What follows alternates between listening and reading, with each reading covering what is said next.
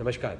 एक सवाल अपने आप से पूछे हाउ स्केयर्ड और worried are you about your competition मतलब ये है कि how often do we try to stay ahead of the curve and do things so that your competition doesn't catch up but let me ask you question one was the last time you encounter the situation जहाँ पर you know your competitor was actually following you is in that a great situation your competitor actually is tracing you and finding out what you're doing just understand that you reach the stage you're are doing something really really nice example data we ran an extremely successful campaign for one of our clients with um, on facebook along with Zee TV along with Zee and you know uh, pretty much our competitors in that space were actually maybe 10 15 maybe some of them 20 times bigger than us started talking about that campaign and saying you know what why don't uh, started talking to Zee about it okay, why don't you help us to do that? We would like to do something like this. The idea is primarily very clear, you know, stay ahead of the competition so that your competition always chases you.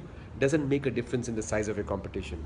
Chota ho, bada ho, doesn't make a difference. So go for it and pray and expect that your competition is chasing you. Thank you.